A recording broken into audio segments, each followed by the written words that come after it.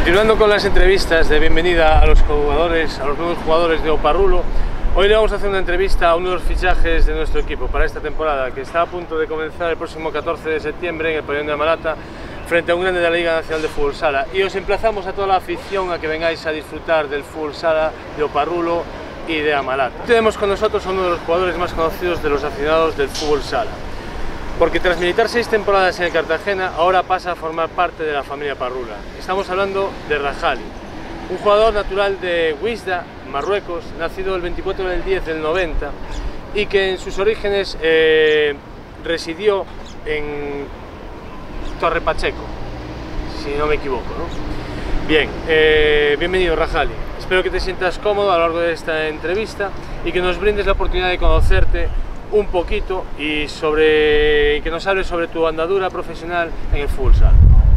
Empezamos hablando de tus orígenes, pero tus orígenes fueron en el fútbol campo, en el fútbol campo hasta la categoría de juvenil más o menos, en donde tus amigos pues como que te lían un poco ¿no? y te dicen vamos a probar el fútbol sala y tomas la decisión de enrolarte en el Torre Pacheco. ¿no? Entonces ahí, ¿cómo fue esa etapa para ti en el Torre Pacheco?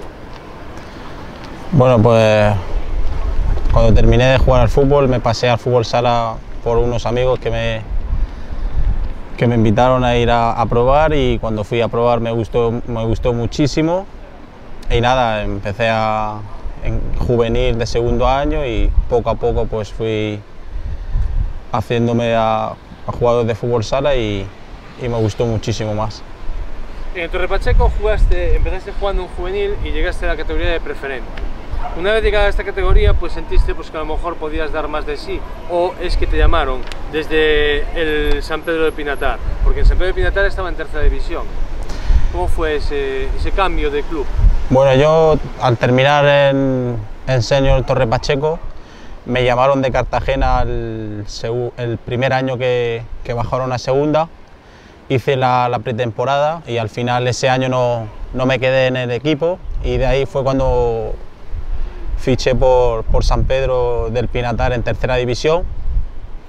Y la verdad es que ahí también tengo muy buenos recuerdos, muy buenos amigos, eh, todavía tengo contactos con ellos y hicimos un, un, año espectacular.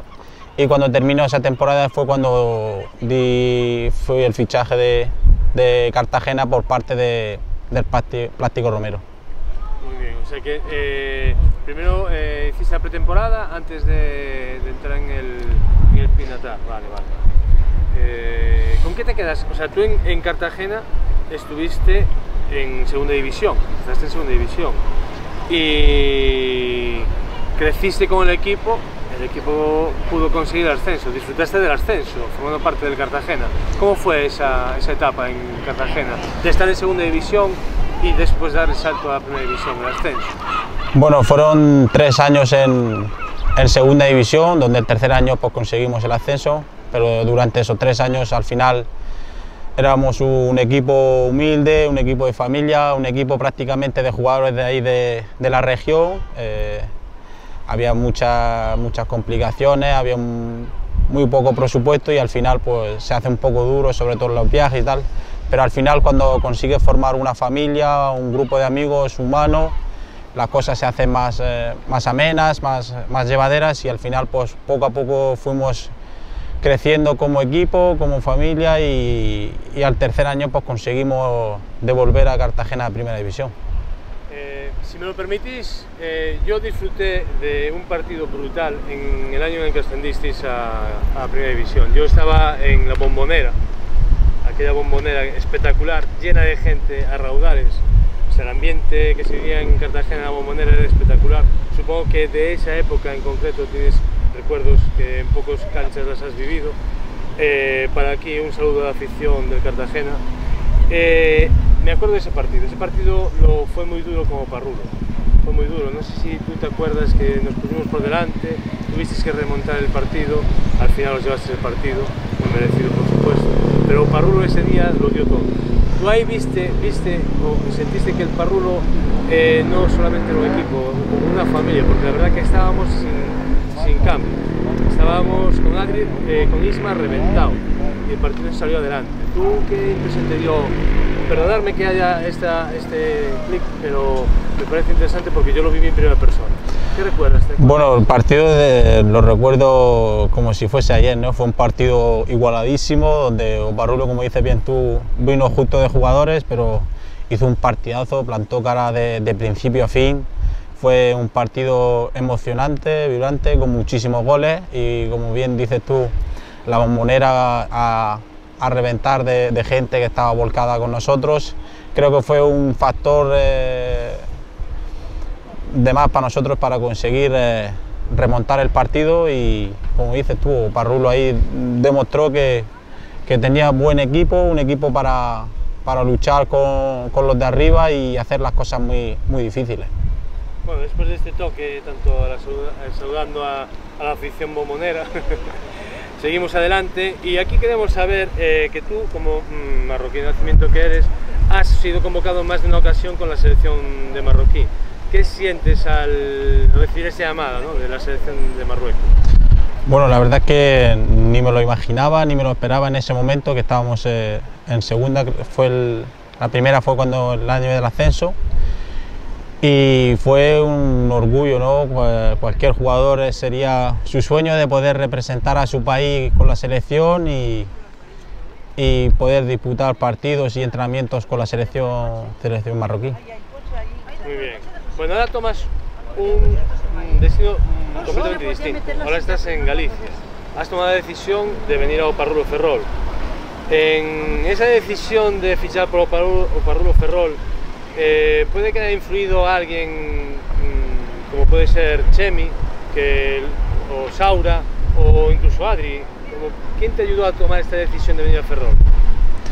Bueno, eh, siempre que quieras salir fuera de, de, tu casa a otro equipo, siempre intentas pues, preguntar a jugadores que han estado ahí, intentas ver si hay jugadores que conoces, que, que, has compartido con ellos equipo anteriormente y preguntar, ¿no? En este caso, pues eh, hablé con, con, Chemi, hablé con, con Saura, eh, conociendo a Adri, a, a, Isma, a Miguel de partido, pues jugamos contra ellos en segunda, en, en, en, primera y la verdad es que no lo dudé mucho, ¿no? creo que Oparrulo es una, como diría yo, como me gustaba a mí, que éramos en Cartagena un, un grupo humano enorme, una familia humilde y, y donde hay que trabajar mucho, ¿no? Y eso pues al final uno se siente cómodo, se siente a gusto en esos sitios y por eso tomé la decisión de venir aquí. Bueno, la pretemporada ya está más que iniciada, ya os habéis puesto el mono de trabajo, ya os habéis calzado las zapatillas, las espinilleras y habéis vestido unos colores eh, diferentes. Eh, aquí ahora mismo pues estás con una gente distinta, conoces a algunos, pero bueno, ¿cómo te sientes con tus nuevos compañeros de viaje en el vestuario? Pues la verdad es que muy bien, ¿no? Eh, desde el primer momento, del primer día de entrenamiento, y como he dicho anteriormente, que prácticamente casi todos nos conocemos, ¿no? De habernos enfrentado muchos años, tanto en segunda como en primera.